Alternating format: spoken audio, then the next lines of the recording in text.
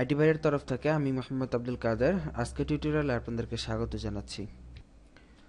এতদিন আমরা যে টিউটোরিয়ালগুলো আপনাদেরকে দিয়েছি, সেগুলোতে আমরা এই পেজটি মানে হোম পেজ তৈরি করে দেখিয়েছি। হোম পেজ বলতে কোনো ওয়েবসাইট আপনি যখন প্রবেশ করেন, তখন মেইন যে পেজটাতে আপনি প্রবেশ করেন মানে সর্বপ্রথম যে পেজটা থাকে, সেটাকে বলা হয় হোম পেজ তো এটি হচ্ছে আমাদের ওয়েবসাইটের হোম পেজ মানে আমরা একটি হোম পেজ ডিজাইন করেছি এবং এতে একটি ওয়েবসাইটের প্রায় সকল এলিমেন্ট উপস্থিত আছে।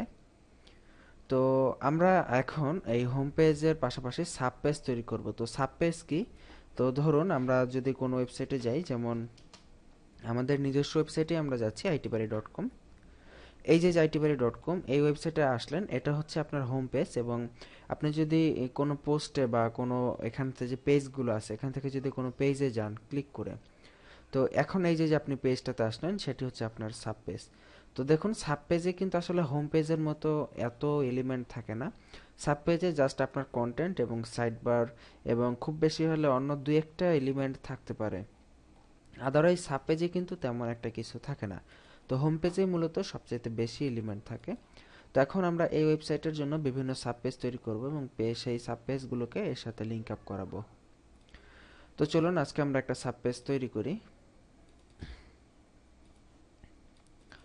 তো আমাদের প্রজেক্ট ফোল্ডারে এই হলো আমাদের টোটাল ফাইলসগুলো এখানে আছে। তো এখানে আমরা একটা কাজ করতে পারি। আমাদের যে গানটা আছে, এই গানটা মানে অডিওটা আমরা একটা ফোল্ডারে নিয়ে নিতে পারি। এতে করে আমাদের সুবিধা হবে ইন্ডেক্সের সাথে থাকবে না, অডিও। অডিও অডিওর মধ্যে আমরা নিয়ে যাচ্ছি এটাকে।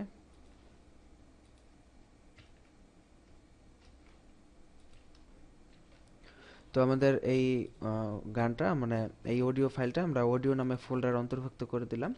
তো এখন আমাদের যেখানে আমরা এই অডিওটা এখান থেকে কল করেছি, সেখানে আমাদের একটু চেঞ্জ করে দিতে হবে। এখন অডিও স্ল্যাশ হ্যাঁ এইভাবে ডিক্লেয়ার করতে হবে। আপনারা জানেন এগুলো সবই। তো আমরা পেজটাকে ফায়ারফক্স দিয়ে ওপেন করলাম। তো ওপেন করলে দেখব, না অডিওটা এখান থেকে পাইনি। নিশ্চয়ই কোথাও প্রবলেম হয়েছে। যাই হোক, আমরা এটার নামটা কপি করে এখানে এইভাবে ডিক্লেয়ার করতেছি। ওকে? ও সরি এখানে দিতে হবে অডিও স্ল্যাশ যাই হোক এখন যদি আমরা রিফ্রেশ করি হ্যাঁ যে অডিও ফাইলটা পেয়েছে এবং এটা প্লে করলে প্লে হবে। তো যাই হোক, আমরা একটি সাবপেজ তৈরি করব। তো আজকে দেখুন এখানে বিভিন্ন ধরনের পেজ আমরা এখানে বসিয়েছি। এখানে ডেমো পেজ আছে ভিডিওস পেজ আছে গেমস তারপর আদার্স এছাড়াও টিউটোরিয়ালের পেজ আছে। তো ধরুন, আমরা এমন একটা পেজ তৈরি করব, যেখানে এই যে যে টিউটোরিয়াল এসিও এখানে যখন কোনো ভিজিটর ক্লিক করবে, তখন এমন একটি পেজে নিয়ে যাবে, যে পেজে একটা এসিও টিউটোরিয়াল সম্পর্কে বিস্তারিত বর্ণনা থাকবে। তো আমরা সেই কাজটা কীভাবে করব? তো সেই কাজটা করতে হলে আমাদেরকে যে মেইন যে প্রজেক্ট ফাইল এখানে আমরা আরেকটি এসটিএমএল ফাইল নিব। তো এই এসটিএমএল ফাইলটার নাম আমরা মিল রেখে এসিও করে দিতে পারি। তো যথারীতি আমরা এখানে এসিও ডট এইচটিএমএল নামে একটি ফাইল ক্রিয়েট করলাম। এটাকে রাইট ক্লিক করে edit with notepad plus plus দিয়ে ওপেন করলাম।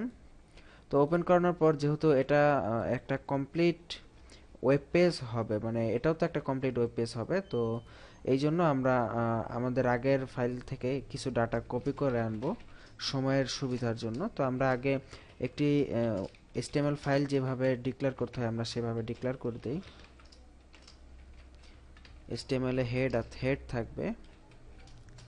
হেডের মধ্যে টাইটেল থাকবে।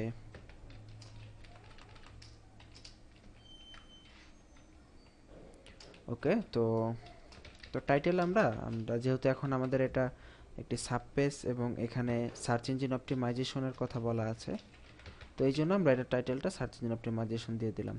তো এখানে একটা বডি থাকবে। বডিতে আমাদের যাবতীয় এলিমেন্টগুলো এখানে দিতে হবে। তো এলিমেন্টগুলো আমরা এখান থেকে যেগুলো যেগুলো দরকার সেগুলো কপি করে আনব। তো আগে আমরা একটা আইডিয়া দিই যে আমরা যে এসিও পেজটা তৈরি করব সেটা কীরকম থাকবে, সেখানে কোনো স্লাইডার থাকবে না। তো স্লাইডারের পরিবর্তে আমরা যদি চাই এখানে একটা ইমেজ বসাবো যে, বা একটা ভিডিও এখানে আমরা বসাবো যেখানে আমাদের এসিও টিউটোরিয়ালের ট্রেইলার থাকবে বা এসিও টিউটোরিয়ালের ট্রেইলারমূলক ভিডিও আমরা এখানে স্লাইডারের পরিবর্তে বসাতে পারি। তার পাশাপাশি এখানে আমরা একটি কন্টেন্ট বসাবো যে যেখানে বর্ণনা থাকবে সিও টিউটোরিয়ালের এবং তার পাশাপাশি এখানে আমরা যদি চাই যে সাইড বার বসাবো, তাহলে বসাতেও পারি। যদি না চাই যে সাইড বার বসাবো না, তাহলে নাও বসাতে পারি। তো আর সবশেষে ফুটার থাকবে। তো যেহেতু ফুটার পার্টটা এবং আমাদের হেডার পার্ট এবং মেনু পার্টটা সেম থাকবে, তো এই জন্য আমরা এই কোডগুলো সরাসরি এখান থেকে কপি করে নিব। তো এখানে আমাদের ডক টাইপের কোডটাও কপি করে নিতে হবে। তো আমরা সেটাও কপি করে নিচ্ছি। তো তার পাশাপাশি এখানে আমাদের যে স্টাইলের যে লিঙ্ক অ্যাপটা সেটাকেও এখান থেকে কল করতে হবে এবং ফন্টের যে লিঙ্ক অ্যাপটা সেটাও কল করতে হবে। তো হেড সেকশন আমরা এই দুটাকেও কল করলাম। তো এরপরে আমাদের ফিক্সে আমরা হোল দিতে পারি। তো যেহেতু আমরা আমাদের টোটাল ওয়েবসাইটটাকে হোল নামক ডিপ দিয়ে ঘিরে দিয়েছি, তো এখানে হোলটা নিতে পারি। হোলটা থাকবে হেডারটা থাকবে হেডারটা পুরো অংশটাই থাকবে হোল সহ হেডারের ফুল অংশটা এখানে থাকবে। তো বডিতে আমরা হেডার সহ এখানে ফুল অংশটা এখানে দিলাম। তো এখানে আমাদের এই যে হোল আছে, এটাকে ক্লোজ করতে হবে শেষে। আশা করি আপনারা বুঝতে পারছেন। যদিও আমি একটু দ্রুত গতিতে বলে যাচ্ছি, তারপর আপনারা বুঝতে পারতেছেন। দেখুন, এখানে আমরা যে হোল অংশটা আছে, এখানে নিয়ে আসলাম এবং হেডারটা হেডার পার্টটা নিয়ে আসলাম। তো হেডার পার্টটা মানে হেডার পার্টটা তো সব জায়গায় কমন তো এই জন্য আমরা এখানে হেডার পার্টটা এখানে নিয়ে আসলাম।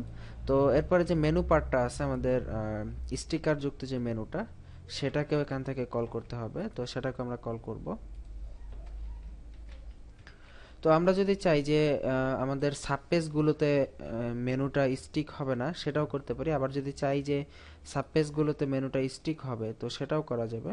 তো আপনারা দেখেছেন যে মেনুকে কীভাবে স্টিক করতে হয়। জাস্ট আইডিটা স্টিকার দিতে হবে এবং এখানে যে একটা কোড আছে স্টিকারের জন্য জাভা স্ক্রিপ্ট কোড সেটাকে এখান থেকে দিয়ে দিতে হবে। তো আমরা কোডটা এখানে দিয়ে দিই বডি ট্যাগের আগে। তো এখানে আমরা একটা কমেন্ট করে নিই। কমেন্ট করলে আমাদের বুঝতে সুবিধা হবে। This code is for